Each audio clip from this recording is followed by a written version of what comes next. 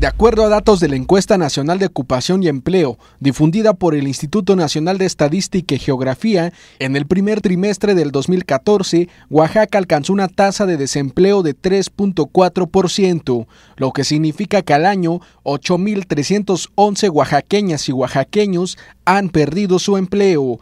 Esa misma encuesta arrojó que la entidad ocupa el quinto lugar a nivel nacional con el 34.4% de trabajadores informales, es decir, que de los más de 3.500.000 habitantes que hay en Oaxaca, 57.900 obtienen sus ingresos a base del ambulantaje. Es por ello que existen organizaciones sin fines de lucro como Servicios de Autosuficiencia, la cual es una red global con 11 oficinas en la entidad, más de 200 oficinas en el país y 80 en el mundo, que ayudan a las personas a ser autosuficientes mediante la capacitación y el desarrollo de habilidades que permiten obtener un empleo. Todavía a nuestro alcance, como somos nuevos aquí en Oaxaca, queremos llegar a contactar a todas las empresas. Esa es nuestra meta, contactar a todas las empresas, todas las empresas, pero se van a necesitar tiempo.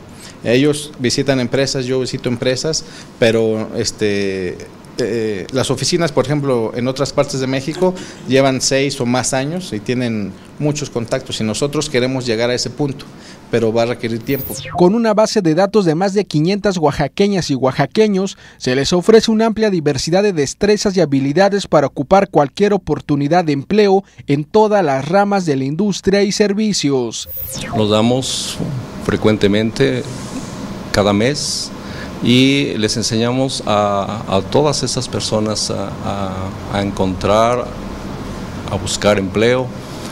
Si necesitan educarse, les ayudamos a encontrar escuelas, la forma como ellos puedan eh, terminar sus estudios desde nivel primaria, secundaria, preparatoria, universidad.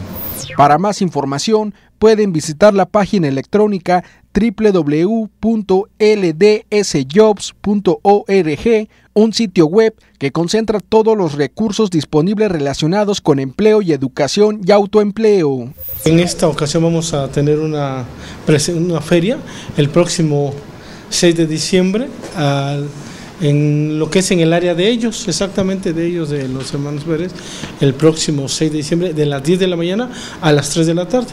El propósito es eh, invitar a todas las personas a que puedan asistir a esta feria. Eh, llevaremos, estamos esperando que vayan unas 40 empresas y estamos proyectando más o menos unos 300 espacios para, todo el tipo de personas, tanto jóvenes eh, de medio tiempo, que estamos hablando de diciembre, como tiene tiempo completo, ¿no? que estamos terminando año, pero cerrando también, iniciando otro año. ¿no? Con imágenes de Carlos Chiñas, informó para MBM Televisión, Irán Sánchez.